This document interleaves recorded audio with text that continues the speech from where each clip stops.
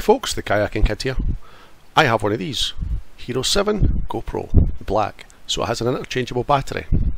The current battery lasts about an hour and a half, so I thought three of these for £30, can't beat that.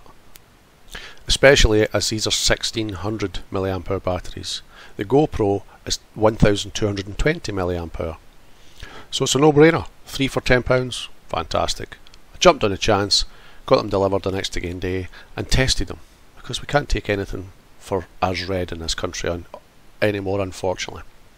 So the GoPro one tested okay, the DuraPro tested significantly lower than advertised, around about 70% of the actual value, which is uh, false advertising in anyone's book.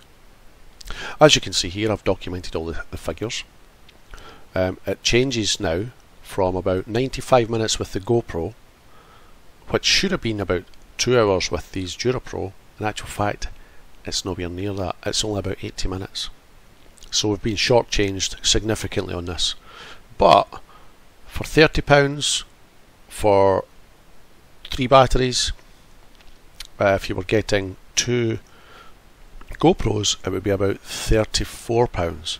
So you can tell the difference in there. It is actually better value for money, but do you want to be changing the batteries every 80 minutes?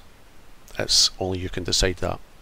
I did write to them, um, as you can see here, but got no response. Um, they are lesser quality batteries, advertised higher, um, false advertising really. But anyway, hope you enjoyed the video. Catch you later guys.